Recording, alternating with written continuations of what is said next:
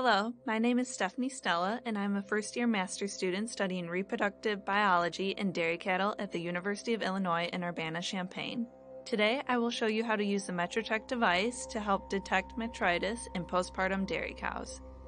For more information regarding metritis, the Metricheck device, treatment options, and current research, please visit the Dairy Focus Lab website to read the full newsletter.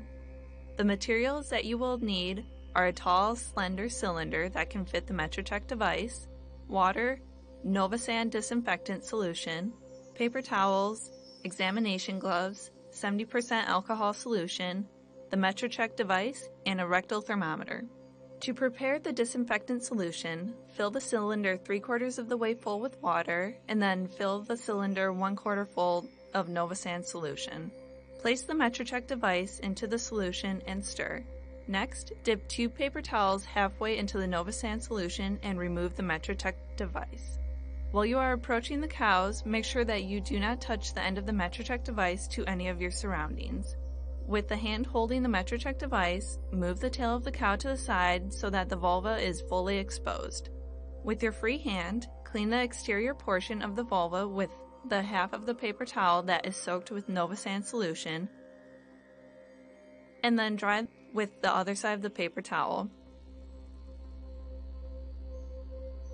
From here, grab the Metricheck device from the hand holding the tail and slowly insert it into the vagina of the cow at an upward 45 degree angle. You want to push the Metricheck device all the way into the vagina until it stops.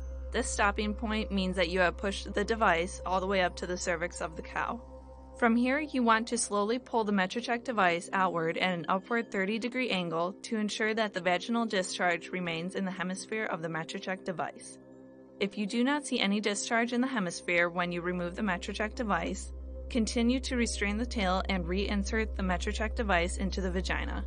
However, this time you will want to move the Metricheck device to the left and to the right side of the vagina as you are pulling it outward. Once you have an adequate amount of discharge in the hemisphere of the Metricheck device, you can then score it. The first score we do is a smell score. You want to smell the vaginal discharge while it is in the hemisphere of the Metricheck device in order to get an accurate scoring. A smell score of 0 will have no bad odor or have a slight metal smell to it. A smell score of 3 will have a very bad odor and smell rotten. A smell score of 3 means that the cow has metritis. The next score is for the content of the vaginal discharge. In order to evaluate the content, you must pour the vaginal discharge onto a paper towel to have a better view. A score of 0 means that there is no material in the discharge. A score of 1 means that there are a few flakes in the discharge.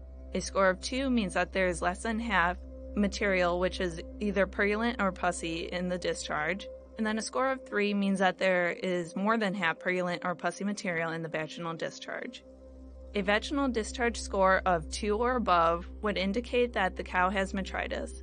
At this point, we can also observe if there is blood present in the discharge for future reference. It is important to remember that metritis can be characterized in various ways depending on the days in milk.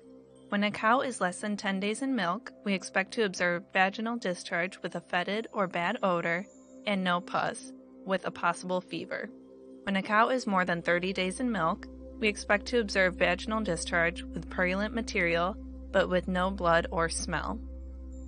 Once you are done preforming the Metricheck, wipe out the hemisphere of the Metricheck device and place it in the disinfectant solution before moving to the next cow.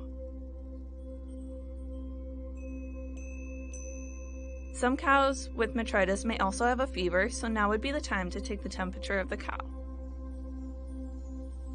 Once you are done performing Metrichecks on your herd, the Metricheck device should be washed with water, cleaned with a 70% alcohol solution, and stored in a safe place so it is ready for future use.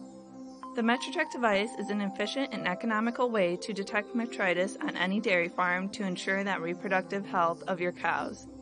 Click on the link below for more detailed information regarding metritis, the Metricheck device, treatment options, and current research on the Metricheck device. Thank you.